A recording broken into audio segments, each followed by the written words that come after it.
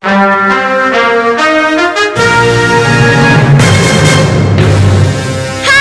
ーいグラールチャンネル5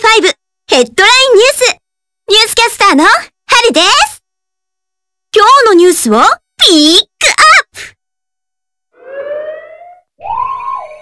皆さん、これがなんだかお分かりですか？ニューデーズの一部地域にのみ自生する高濃度フォトンを含有する特殊キノコです。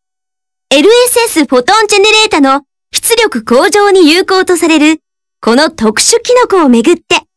現在、ガーディアンズでは大規模な採取作戦を展開しています。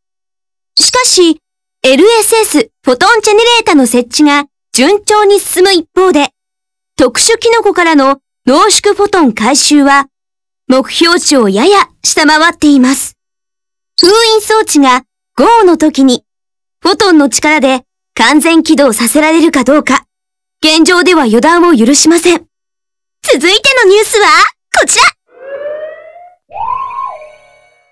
今日、ガルム社の臨時株主総会が行われ、新社長には筆頭株主のヒューガ・ライト氏が選出されました。会見の席上で、ヒューガ・ライト氏は、抜本的な改革による会社再建を訴えましたが、具体的な方針の提示はなく、今後の動向が注目されています。今日のグラールチャンネル5、ヘッドラインニュースはここまで。ニュースキャスターは、春でしたバイバーイ